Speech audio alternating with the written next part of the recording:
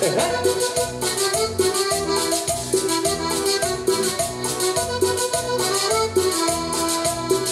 amor que tú me das no vale nada, guárdatelo. No, no puedo soportar tu son, tu perdición. ¿Cómo quieres que te quiera, que yo te quiera a mi manera? Caballo son de pradera, gozando siempre de libertad. Mira que no te equivoques y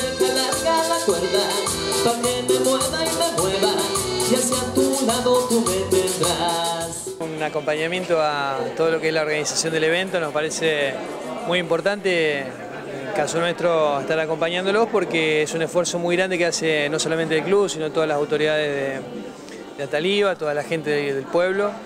Y bueno, esto le da, esta fiesta seguramente le da una identidad no solamente a Ataliba, sino a todo el departamento castellanos, de mostrar eh, todo lo que se produce en el departamento, departamento castellano, lo rico que es el chorizo, y que además en una fiesta así se pueda compartir con amigos, bailar y divertirse, así que nos parece una ocasión muy linda y bueno, felicitar a todos los que hacen la Fiesta Nacional del Chorizo. Recién hablábamos con el presidente comunal, Fabio Sánchez, y destacábamos la importancia que tiene esta fiesta al ser una fiesta reconocida nacionalmente. Esto también, como decía usted, le da un nivel de importancia a nivel departamental y provincial para todo el país.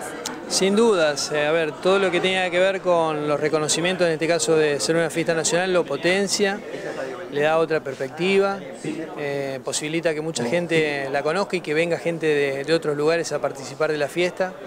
Así que creo que todo suma y bueno, me parece que año tras año es un, clásico que se renueva y que la gente espera que llegue la fecha para poder participar y estar presentes. Bien, Fernando, le cambio de tema y le consulto, ¿cómo está el nodo hoy en Rafaela?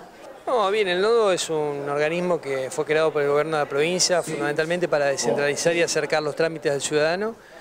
Y en el caso nuestro es tratar de coordinar algunas cuestiones que tienen que ver con, políticas, no solamente de instituciones, sino también de municipios y comunes del departamento castellano y otros departamentos que también tenemos a cargo y que buscamos acercar eh, a través de gestiones que podamos hacer eh, la solución a esos reclamos. Así que estamos trabajando en cuestiones que tienen que ver fundamentalmente con, algunas cuestiones de seguridad. Hubo un planteo de algunos presidentes comunales de, poder acercar funcionarios del Ministerio de Seguridad, lo hicimos la semana pasada en Santa Clara.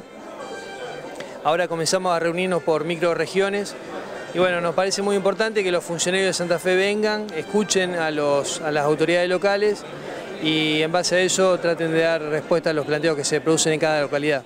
El próximo año 2019, ¿dónde lo encuentra Fernando Muriel?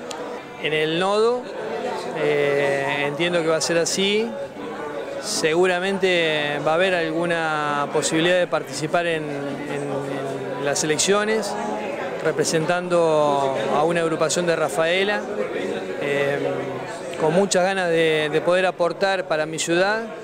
Y, bueno, me parece importante que en este caso, para mí, que va a ser mi primera experiencia, bueno, pueda, pueda aportar propuestas pueda escuchar a los vecinos de la ciudad y, bueno, en este caso ser un, nexo eh, para que cada día la ciudad esté mejor. Así que seguramente van a encontrar trabajando en el nodo y también en, este sentido en, materia política.